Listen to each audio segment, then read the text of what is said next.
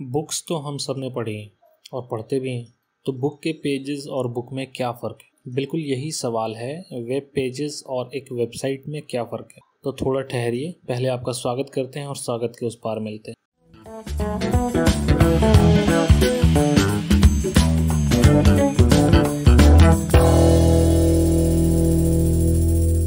एक छोटे से एग्ज़ाम्पल से शुरू करते हैं। बुक लिखने के लिए पहले अलग अलग टॉपिक्स को अलग अलग पेजेस में लिखते हैं। और फिर फाइनली राइटिंग के बाद सभी पेजेस को जब जोड़ दिया जाता है तो एक बुक बन जाती है और फिर उस बुक का नाम दे दिया जाता है।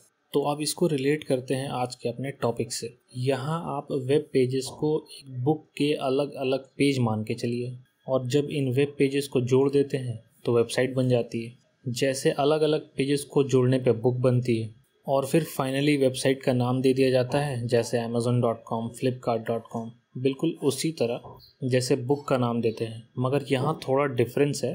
बुक के केस में उस नाम को बुक नेम कहा जाता है और वेबसाइट के केस में उसे डोमेन नेम कहा जाता है। जब भी आप कोई वेबसाइट विज़िट करते हैं, जैसे माइक्रोसॉफ्ट डॉट कॉम तो ये बिल्कुल उस बुक की तरह है, जिसका कुछ नाम दिया गया है।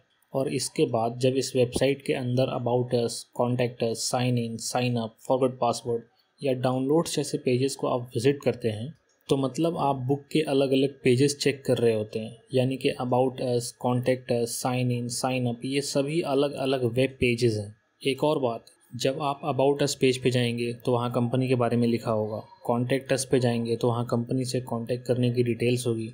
बेसिकली कहने का मतलब ये है कि वेब पेजेस का जो भी नाम है, जैसे अबाउट अस या डाउनलोड्स उसी से रिलेटेड इन्फॉर्मेशन उस पेज पे होगी।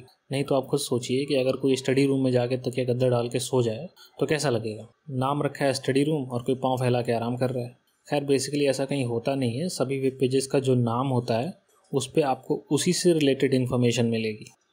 About us contact us sign in sign up forward password या डाउनलोड जैसी चीज़ें एक वेब पेज हैं। और सभी वेब पेजेस का लिंक अलग अलग होता है। लेकिन सभी वेब पेजेस में वेबसाइट का नाम कॉमन होता है। आप इस एग्ज़ाम्पल को देखिए। www.apple.com ये इसका होम पेज है और ध्यान रहे होम पेज भी एक वेब पेज होता है। उसके बाद Apple dot com slash iPhone ये एक अलग वेब पेज है। Apple dot com slash shop slash iPhone accessories ये एक अलग वेब पेज है। Apple dot com slash Mac ये एक अलग वेब पेज है। इन सब में W W W dot Apple dot com common है, क्योंकि ये वेबसाइट है, यानी कि डोमेन नेम है। और बाकी पार्ट्स अलग हैं। तो अब फाइनली सम अप करते हैं। वेब पेज एक सिंगल पेज होता है, जैसे साइन इन या साइन अप के पेज और ऐसे ही अलग अलग वेब पेजेस को जोड़ने पे बनती है वेबसाइट इसलिए वेबसाइट को हमेशा कलेक्शन ऑफ़ वेब पेजेस कहा जाता है। सभी वेब पेजेस का लिंक डिफरेंट होता है, बल्कि वेबसाइट का सिर्फ़ एक ही लिंक होता है, जिसे डोमेन नेम कहते हैं। क्योंकि वेब पेज एक सिंगल पेज होता है तो इसलिए वेब पेज को बनाना आसान होता है, जबकि पूरी वेबसाइट एक बुक की तरह होती है जिसमें ढेरों पेजेस होते हैं। तो इसलिए वेबसाइट को बनाना थोड़ा मुश्किल काम है। क्योंकि वेब पेज एक सिंगल पेज होता है तो अगर कभी कोई वेब पेज काम नहीं कर रहा है, कोई खराबी आ जाए या कोई डेवलपमेंट का काम करना हो तो हम सिर्फ़ उस पर्टिकुलर वेब पेज को एक्सेस नहीं कर पाएँगे। मगर इसके अलावा बाकी पूरी वेबसाइट पड़ी है, बाकी वेब पेजेस को विज़िट कीजिए तब तक।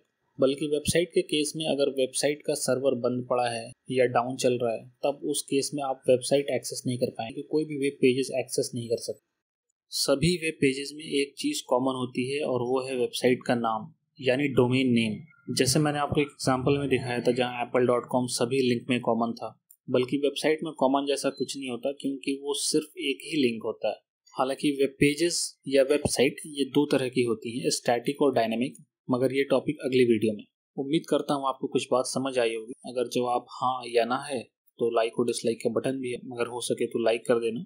एक और बात, मैंने सुना है लाल बत्ती से ट्रैफ़िक रुक जाता है। तो सब्सक्राइब वाली लाल बत्ती को दबा दीजिए ताकि उसका रंग बदल जाए और ट्रैफ़िक आगे बढ़े। आज के लिए फ़िलहाल इतना ही। मिलते हैं अगली वीडियो में।